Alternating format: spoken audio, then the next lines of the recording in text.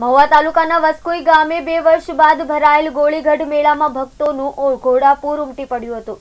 હોળીના આગલા રવિવારે ભરાતા આ મેળામાં શનિવાર રાતથી જ મોટી સંખ્યામાં ભક્તો આવવા લાગ્યા હતા અને ગોળીગઢ બાપુના જૂના અને નવા મંદિરે બધા માનતા ચડાવી હતી.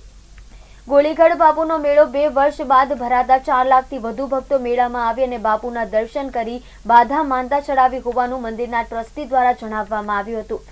ભક્તો દ્વારા મેળામાં લાગેલ પચીસોથી વધુ સ્ટોલો અને પંદર જેટલી નાની મોટી રાઇડો અને આનંદ પ્રમોદના સાધનોની મજા માણી હતી. આયોજકોના મતે અત્યાર સુધીમાં પહેલીવાર આટલા ભક્તોએ ગોળીગઢ બાપુના દર્શન કર્યા છે. ગુજરાત ઉપરાંત મહારાષ્ટ્ર, મધ્યપ્રદેશ અને રાજસ્થાનથી મોટી સંખ્યામાં ભક્તો ઉમટ્યા હતા. લાખોની સંખ્યામાં ભક્તો ઉમટતા વાંસકોઈ ખાતે ટ્રાફિક જામની સ્થિતિ પણ સર્જાઈ હતી. ઉપરાંત બસો થી વધુ પોલીસ સ્ટાફની બાજ નજર વચ્ચે પણ ઘણા ભક્તોના પાકીટ અને મોબાઈલ ચોરાયા હોવાના બનાવો બન્યા હતા.